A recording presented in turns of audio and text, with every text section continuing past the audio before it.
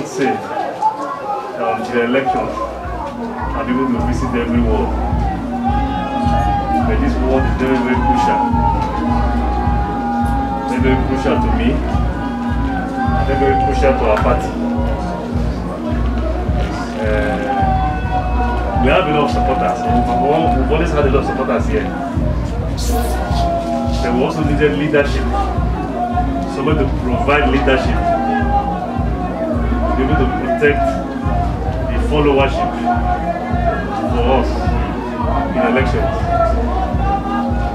And I'm happy today that uh, I have found in Chief Mark the person who provide that leadership on behalf of the party. Party is about membership.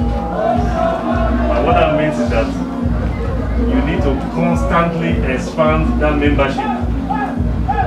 Constantly reach out to our brothers, our sisters, our fathers, mothers, our wives